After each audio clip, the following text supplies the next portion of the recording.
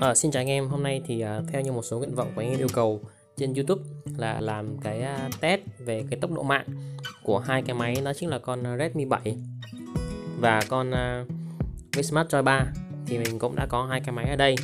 Và bây giờ thì mình uh, sẽ test để cho anh em xem là hai con máy này đặt cùng một cái vị trí và cùng một cái độ xa với cục wifi thì là con nào nó sẽ mạnh hơn con nào. Thì ở đây mình đều sử dụng wifi của điện thoại siêu rẻ.com hết đầu tiên thì mình à, sẽ che cái phần à, tiếp sóng ở trên con à, Vsmart Joy 3 thì như các bạn thấy ngay khi che thì nó chỉ còn có ba cọc wifi thôi. Tuy nhiên thì lần này mình thấy cái tốc độ nó ổn hơn so với cái lần test trước đây của mình. Tốc độ download là 20.2 megabit trên giây.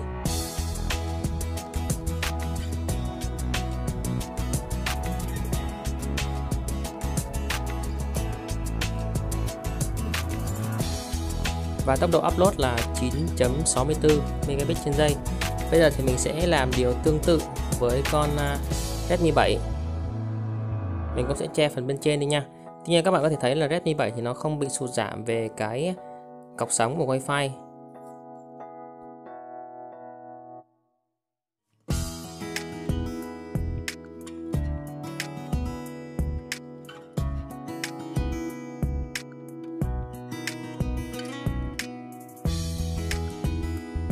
Tốc độ download thì cũng nhỉnh hơn đôi chút 21.9 megabit trên giây.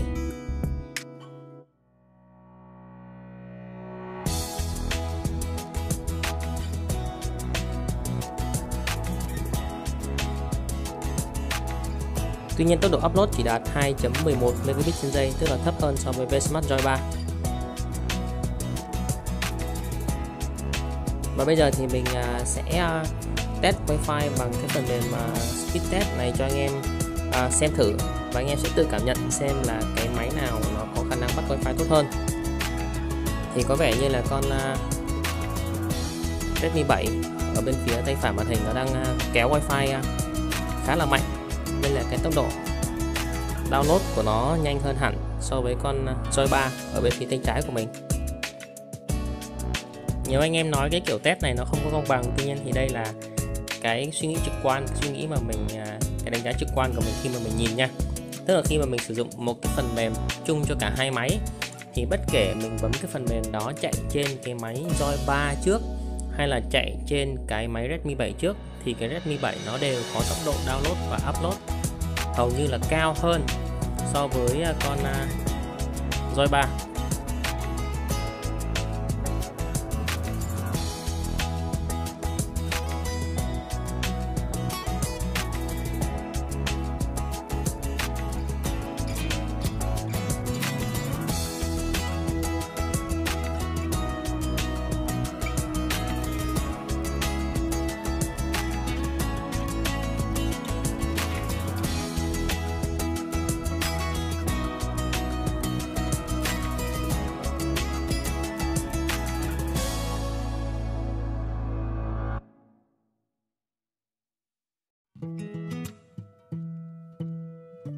Bây giờ thì mình sẽ bấm ở trên con roi 3 trước này. Rồi ok bây giờ thì mình sẽ bấm ở trên con uh, Redmi 7 sau. Đó băng thông của con roi 3 đã giảm xuống rồi.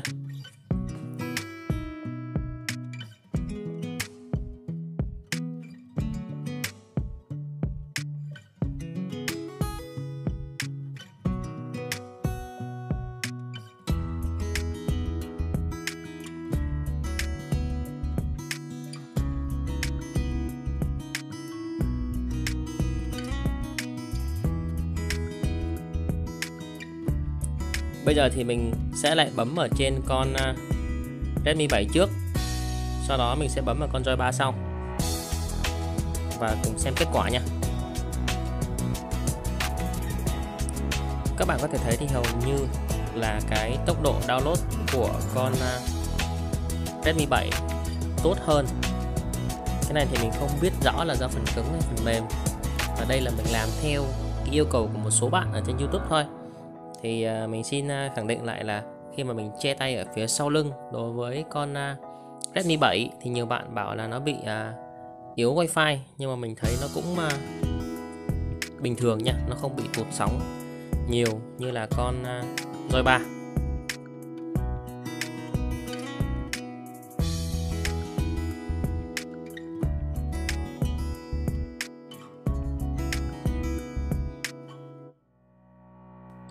tất nhiên là mình không thuộc dạng là hứng bi cho các sản phẩm Việt Nam. Tuy nhiên thì mình vẫn cảm giác là con Roi 3 này là một cái máy tốt và nó tốt cho phần đông người dùng. Nó chỉ không phù hợp cho những người nào mà hay có thói quen chơi game mà cầm máy nghe như vậy thôi. Thì à, khi mà mình cầm máy nghe như vậy là cái cột sóng wifi nó sẽ giảm xuống mặc dù là mình ngồi rất gần cục modem chỉ cách đó khoảng tầm 2 mét thôi đây là con à, Redmi 7 thì nó sẽ không bị cái hiện tượng đó.